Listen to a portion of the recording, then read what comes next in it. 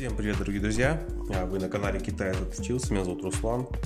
Попала мне вот такая вот коробочка на стол а, с обозначением «Не включается», не могут включить. И знаете, такой а, ностальгии пост вспоминается где-то лет так 6-7 назад. Я в Челябинске жил, где-то вокзал, и, либо улица Даватора, и цыгане ходили, цыгане продавали телефоны сотовые. А еще тогда особо никто не знал, про Android, там, ну, как бы знали, что на дурачка играли, они втюхивали аппараты S3, там S4, такие, а, которые были копии, совсем паленые копии телефонов, а Nokia N8 там была, они прям очень любили ее толкать, эти цыгане. Причем цены они ломили такие, что, блин, ну, почти как оригинальные стоили, просто играли на, на дурачка. И попала мне вот такая коробка, я сразу вспомнил этот Samsung, этот Samsung, этих цыган, которые вечно сували эти телефоны всем.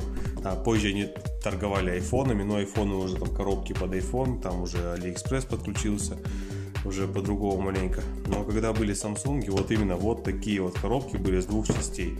Но, но увы, здесь не Samsung, здесь кое-что поинтересней. Был бы Samsung, я бы его не снимал, я бы его даже не взял бы, просто бы кинул бы в стену, сказал, иди выбрось его. Все. Здесь у нас аппарат маленько поинтересней. Здесь у нас вот такой Land Rover. Он почти новый. Телефончиком маленько попользовались.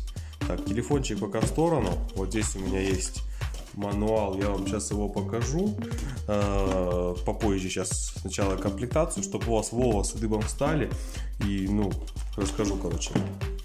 У нас комплектация, как он был, а, судя по всему, куплен он где-то в интернет-магазине. Здесь кабель зарядки, ну, уже, естественно, распакованный, вот с таким вот длинным штекером. Это обычный микрокабель. Извиняюсь за фокус, блин, у меня я камеру не взял и сейчас на телефон снимаю, а поставил на штатив держателя тоже от телефона. Нету на штатив, блин, не взял ничего с собой, но хочу отснять, потому что, блин, это вот интересный аппарат. Тут у нас какой-то пакетик, судя всего, от, э, во всему от кабеля. Или от блока, здесь тоже пакетик. В комплекте идет гарнитура с таким же длиннющим э, штекером, вот если вы посмотрите, вот мой ноготь как бы такая вот тут херня. Если наушники вы сломаете, вы уже их нигде, скорее всего, не купите. Также у нас отверточка, она нам сейчас пригодится. Здесь у нас имеи, блок питания, тоже из, из той же серии, что Samsung старый, Trevor адаптер. Здесь у нас написано, что это 5 вольт, 2 ампера. Ну, он абсолютно ничего не весит вообще, он, он пустой. Там, дай бог, если 500 миллиампер наберется, и то не факт. Ну, его не разобрать, он спаян весь на них. А, ультразвуком паяет, он не разборный, поэтому не посмотрим, что внутри. И запасной аккумулятор. Вот с такими вот цифрами. 1016 800 миллиампер. Ну, весом тут, ну, где-то грамм, наверное, под 100. То есть, прекрасно все понимаете, что это далеко не 16800. Был бы 16800, весил бы он около полукилограмма, я думаю. 3,7 а, вольта, 16800 мАч, так, и моделька X9. Телефон у нас ровер модель X9. Вот такая это лопата.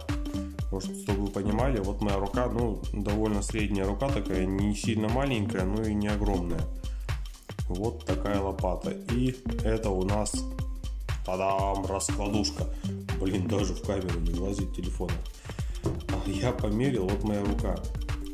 Он вот от сих вот до сих, короче, получается у нас 23 а, сантиметра. Представляете, 23 сантиметра лопата. Вот ее к уху положить, она больше головы получается. Такой вот аппаратец попал. Я прям, когда открыл, я удивился возьмем нашу отверточку с комплекта. Давайте откроем, посмотрим, что внутри. А, честно говоря, не очень удобно этой отверточкой открывать, вообще неудобно. Так, здесь докрутили. Здесь тоже докручиваем. Телефон в виде а, как бы противоударного влагозащищенного, но здесь ни того, ни того нету. Ни того, ни того нет. Так, открутили. Обещал показать мануал а, не буду информацию показывать. Вот это вот стоимость телефона.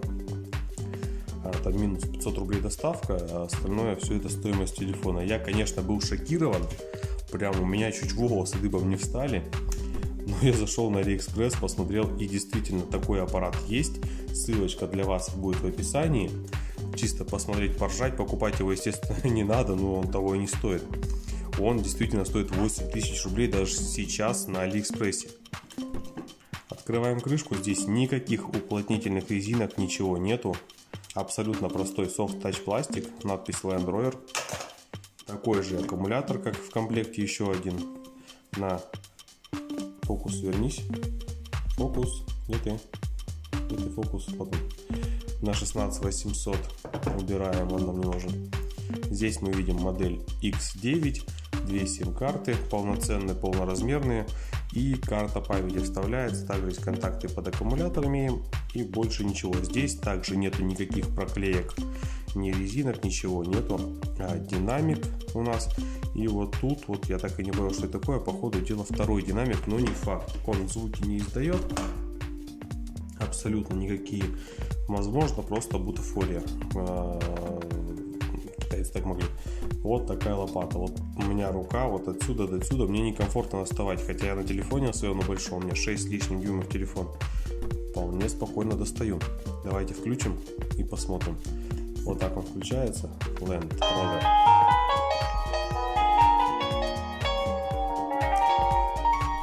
Знаете, вот э, для китайских телефонов, для китайских телефонов вот именно тех времен, э, это довольно-таки неплохой звук.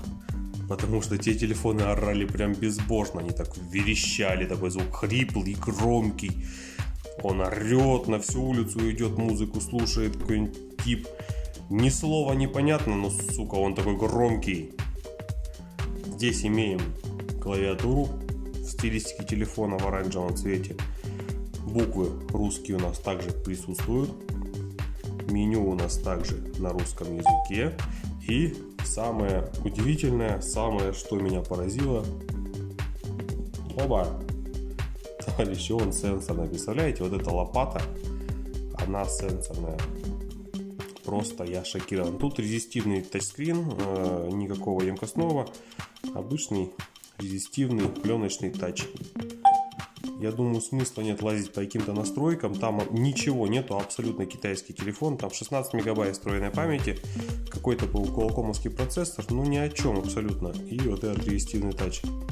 Знаете, вот я смотрю на него, вот на этот телефон. Вот был бы он IP68. А, да, тут у нас второй экран еще есть. Второй дисплей. Здесь две клавиши, три клавиши. Вот это вот центральная не знаю, тут поднять, сбросить. И ну, при закрытой крышке не работают. И камера. Был бы этот телефон IP68, был бы он на андроиде с емкостным дисплеем, хотя бы четырехъядерный, он бы своего покупателя за 8000 нашел. Но на такой операционной системе, на которой он работает, а это, судя по всему, какой-то типа Симбиана, скорее всего, и то не факт, что это Симбиан, ну никаких 8 тысяч это не может стоить. Блин, мне действительно жалко людей, которые ведутся на эти вот предложения и покупают вот такие аппараты, а, тратя свои деньги просто впустую, можно сказать. Там было два телефона, вот этот и еще один. Но тот я показывать не буду, там маленько такой попроще, просто трубка и динамик здоровый. Ну, там ничего необычного, как бы, до хрена таких телефонов есть. А вот этот вот аппарат меня прям поразил своей ценой, своим размером и своим тачем просто. Давайте камеру включим еще, поржем. Камеру включил. Вот это из разряда того, что лучше бы ее там не было, чем она там есть. Вот действительно, лучше бы камеры там просто не было. Но она, к сожалению, есть. Кстати, вот эта кнопка меню не вызывает. Надо нажать вот здесь, либо а, джойстиком переключиться до меню. Слушаем звук. А, зайдем в профили. Так, забыл, не так. Надо опции нажать, потом настроить при громкость. Ну, то есть звук довольно такие непротивные, я бы сказал. Он неприятный, совсем неприятный, но он и не противный для этого телефона, он вполне нормальный. И, кстати, не показал, вот так прям выключим, сделано УК. То есть, я так понимаю, это Украина, но От украинского здесь, наверное, только вот эта наклейка. И год выпуска у нас 17 Вот такой аппаратец, товарищи для вас ссылка на него в описании. Пройдите, посмотрите, поржите. Там были заказы, по-моему, 4 штуки. 4 человека купили это говно, заказали и пользуются, судя по всему, ими. А, и, кстати, неисправность в чем была, не сказал, мне же его на ремонт принесли. Вот это вот говно китайское, вот это, которое ничего не весит, оно сложило конь. Абсолютно не работает. Благо, оно раздельное с проводом, то есть провод еще рабочий. Сейчас мы ему в комплект закинем новый блок питания, возьмем барафоновский, а барафон 20А возьмем, который до 3 ампер, потому что если ну, аккумулятор все-таки ну, не 16, но он емкий, как бы заряжало, чтобы побыстрее. Ну вот, если он сломает кабель, у меня-то есть продаж такие кабеля. У меня есть такие кабеля в продаже, они у меня а, появляются периодически, иногда ну, потому что тоже с такими телефонами приходят, не с такими, а вот э, с противоударными, там у них тоже длинные все эти кабеля есть, но вот если он его сломает и ко мне не придет, он замучается его искать, просто в продаже, в продаже, в открытой продаже таких просто хрен найдешь. Вот такой вот был небольшой краткий обзор на вот это вот чудо телефон. Я, кстати, пытаюсь позвонить клиенту, он от меня трубки не берет. Но я буду пробовать дозваниваться, чтобы он забирал. А, второй был заблокирован. Кстати, в коробке телефон был, новый телефон заблокирован. Судя по всему, его а, производитель перед транспортировкой заблокировал, чтобы э, на почте не сперли и поставил туда пароль стандартный. Не поставил, ну, заводской пароль стоял там, то есть 1122, э, что ли, типа такого, заводской пароль китайских телефонов. Я ввел, он включился, то есть такие вот пироги. Просто впустую принесли телефоны, чтобы время мое отнять, а я отнял ваше время, показал данный аппарат. Вам спасибо за просмотр, подписывайтесь на канал, ставьте лайк этому видео, проходите в комментарии, там есть ссылочки. С вами был Руслан, до новых встреч, пока-пока.